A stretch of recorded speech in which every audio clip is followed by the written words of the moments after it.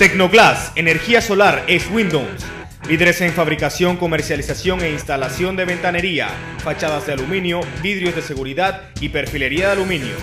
Nuestros estándares de calidad cumplen con las normas más estrictas a nivel mundial. Presentamos Versión Libre.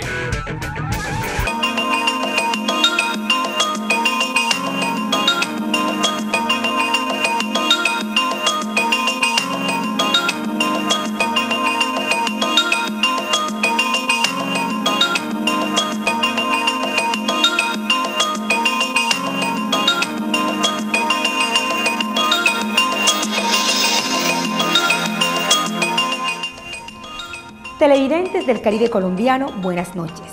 Con el propósito de darle cabida al mayor número aspirantes a cargos de elección popular a las diferentes corporaciones, hemos iniciado una serie de programas especiales. En este, el espacio la democracia de nuestro canal regional Telecaribe, versión libre. Queremos que ustedes, amables televidentes, conozcan cada una de las propuestas de quienes nos representarán desde enero próximo alcaldía, gobernación, asamblea y consejo. De su voto depende el futuro de nuestra región. Bienvenidos a este gran especial.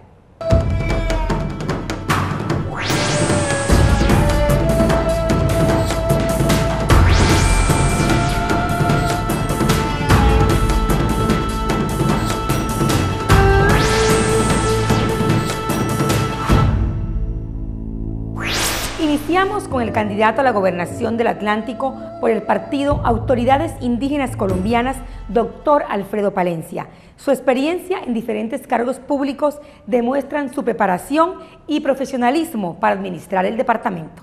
Educación para todos, apoyo a la mujer y equidad en la distribución de los recursos son algunas de las iniciativas de ese atlanticense candidato a la gobernación del Atlántico, que busca lograr un cambio significativo en el departamento, trayendo progreso y desarrollo para sus habitantes. Al llegar a la gobernación, sin improvisación, porque tenemos la experiencia para desde el primer día empezar a trabajar, es adoptar un modelo diferente al que hoy tiene el Departamento del Atlántico.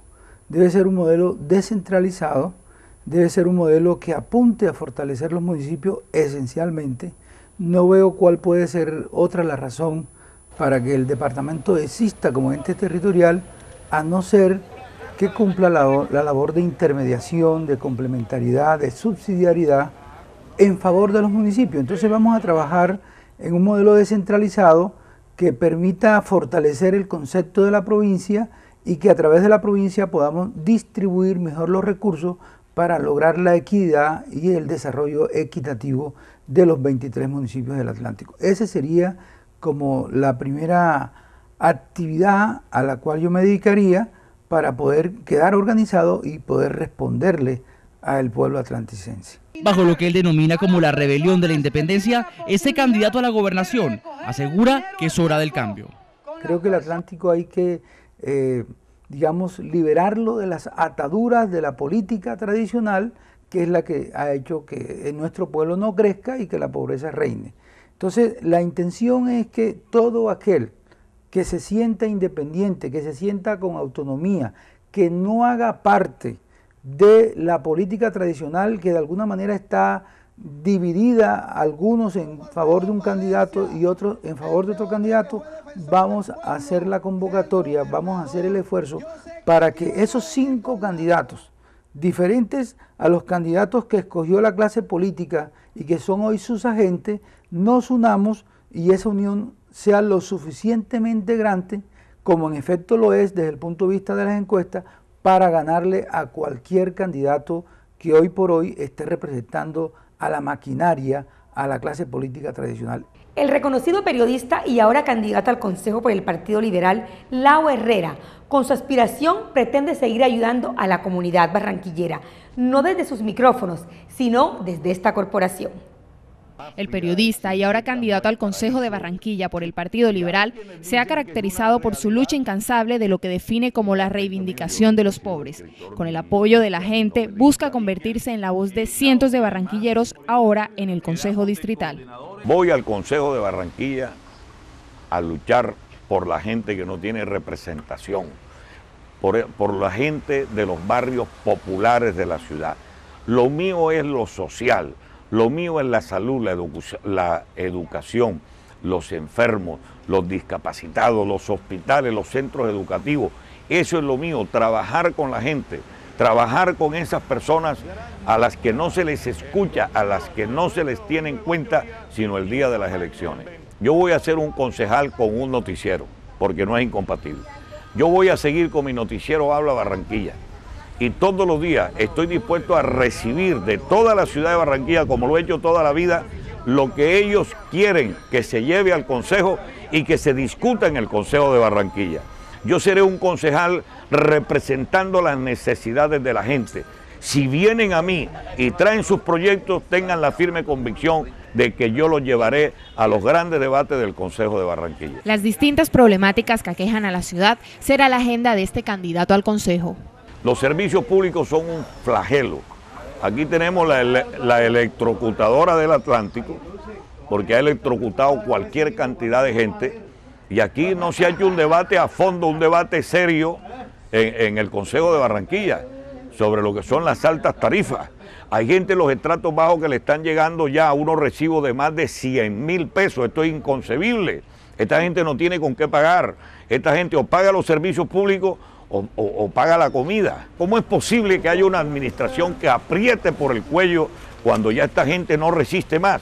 Mire lo que acaba de pasar con los damnificados fueron a reclamar el auxilio que les debe dar el distrito para pagar el arriendo de, su casa destruida y resulta que los acaba de coger el SMAT a bolillazo limpio.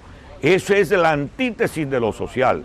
En todas las partes del mundo se legisla y además el Ejecutivo trabaja para tratar de acabar con este flagelo del hambre, de la necesidad, del desempleo y de la seguridad. Y aquí parece todo lo contrario. Aquí la alcaldía y el distrito piensan en el sector financiero, piensan en el sector productivo, que no es que eso esté mal, eso está muy bien, pero está muy mal que se olviden de los pobres y de los necesitados y lo que es peor, que los estigmaticen. Con la consigna Más ciudad si es posible, el concejal Elvis Beleño quiere llegar nuevamente al Consejo de Barranquilla. Beleño, gestor de varios proyectos en el Consejo de Barranquilla durante estos últimos cuatro años, tiene claro que el suroriente de esta capital necesita de una mirada y el apoyo incondicional. Sueño con que más de 10.000 familias del suroriente de la ciudad no tengan que pararse a medianoche en medio de un aguacero a sacar las aguas de su casa por el desbordamiento del caño de la Ullama. El corredor portuario no solamente le va a dar posibilidad a Barranquilla de hacerla más competitiva, porque vamos a, vamos a mejorar la movilidad por vías arteriales tan importantes como la calle 17 y la calle 30, sino que además de eso vamos a brindarle tranquilidad, como lo dije ahorita, a más de 10.000 familias del barrio La Chinita, del barrio Rebolo, del barrio La Luz. Trabajar por las comunidades más vulnerables de la ciudad sigue siendo el objetivo del concejal Elvis Beleño.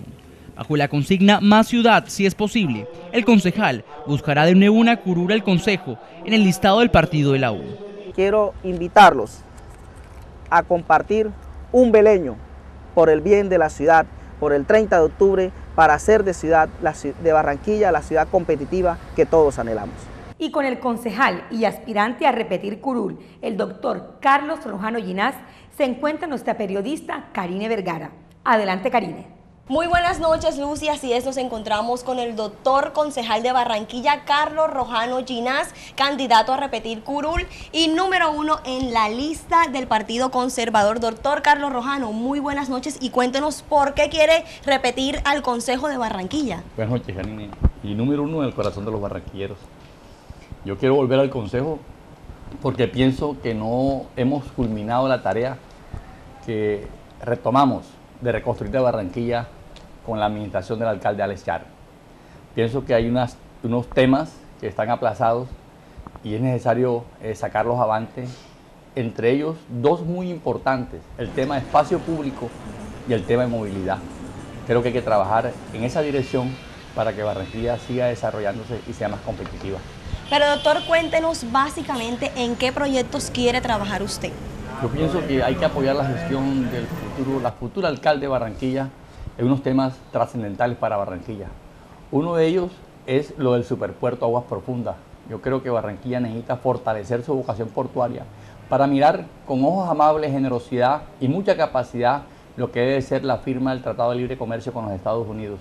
Yo pienso que hay otro tema importante que hay que apoyar la futura gestión de la administración distrital que tiene que ver con la segunda calzada de la circunvalar, el segundo tramo de Transmetro, la segunda fase de Transmetro, fortalecer la política social de la ciudad para erradicar la pobreza, en lo que tiene que ver con educación, salud, mejoramiento de vivienda.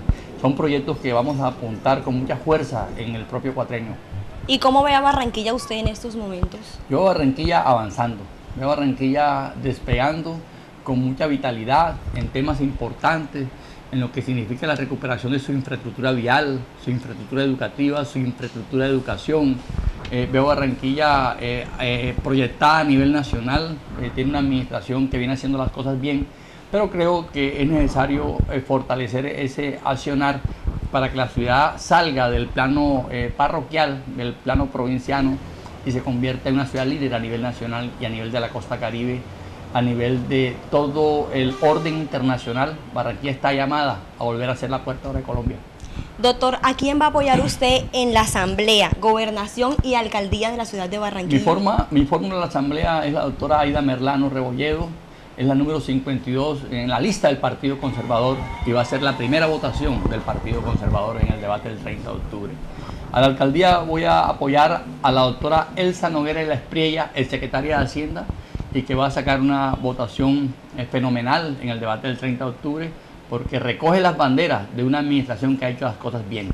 Ya la gobernación voy a apoyar al emprendedor abogado, eh, a la promesa de la política del Atlántico, Jaime Amín Hernández. Creo que él tiene la capacidad, la competencia y la visión para cambiarle el rumbo al Atlántico, que está muy mal manejado en estos momentos. Doctor, recordémosles a todas las personas que en estos momentos nos están viendo su número y a quién apoya la Asamblea. Yo soy el número uno en la lista del Partido Conservador Colombiano. Y la Asamblea, la doctora Aida Merlano, es la número 52 en la lista del Partido Conservador Colombiano. Llamo a toda Barranquilla Atlántico a votar por esta fórmula ganadora. Y después de esta entrevista hacemos una pausa, pero ya regresamos a este gran especial de la democracia.